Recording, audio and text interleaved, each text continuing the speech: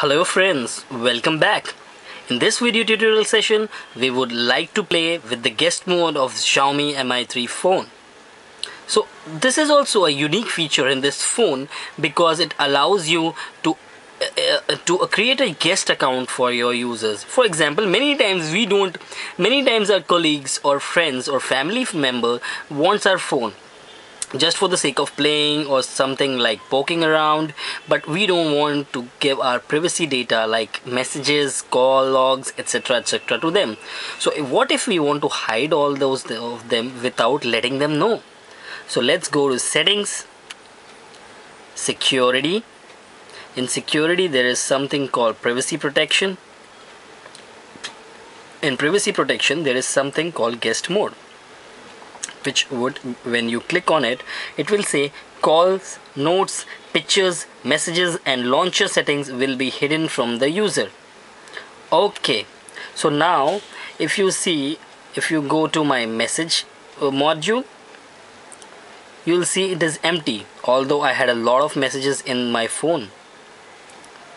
If you see my call logs you will find no recent contacts or empty. That is strange so these things are being hidden because the guest mode was active. Let's go to the toggle notification to see whether it is active or not. Guest guest mode is active. Let's switch it off.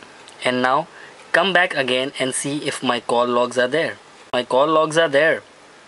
Yes my messages are there so my, my, the if the guest mode is the guest mode is on my users the phone users my friends my family members won't be able to see my call logs messages etc etc good thing to uh, make sure your privacy is maintained so you saw that I enabled and disabled the guest mode directly by touching the screen. Anybody can do it. Anybody who knows how to enable or disable the guest mode can do it.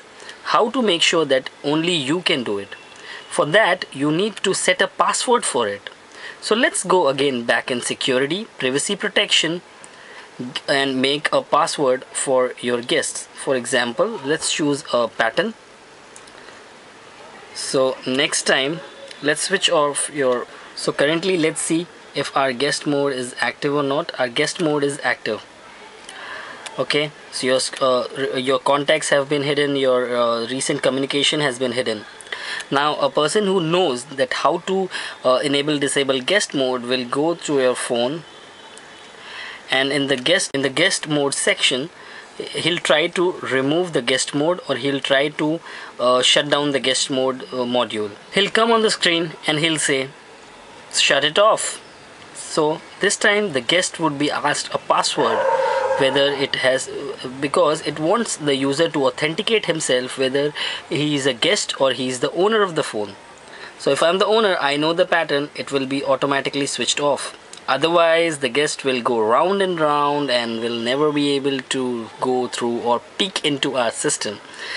Thank you very much friends for watching this video. Hope it helps you. Please keep sharing keep watching and keep subscribing to my channel